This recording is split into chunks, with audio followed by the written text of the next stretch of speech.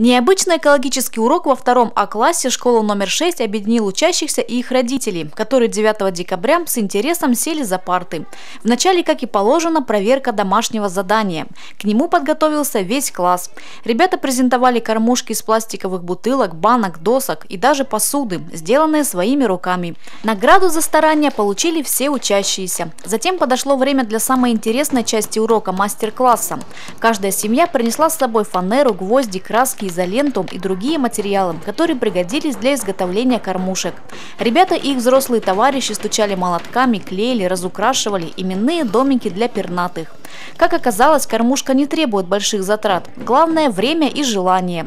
Собственную столовую смастерил и Данил Тавапов. Мы взяли ведро от капусты, э, нашли середину э, и посередине э, делали отверстие. Э, мы обвели отверстие карандашом, а потом прорезали канцелярским э, ножом и, и э, обклеили скотчем. И приклеили вот такие вот украшения. Дети и взрослые с удовольствием развесили птичьи столовые на деревья, насыпали крупу и ягоды, а часть кормушек уехали в школьный двор. Акция в нашем классе проходит не первый раз. Мы уже, это традиционная акция.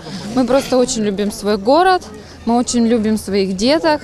У нас очень много э, родителей-энтузиастов, которые готовы проводить свое время с детьми, которые готовы не знаю, проводить различные мастер-классы. Юные экологи объявили дежурство. Ответственные ребята обещали ходить в парк каждую неделю, подсыпать птичкам корм, чтобы пернатые не остались голодными этой зимой.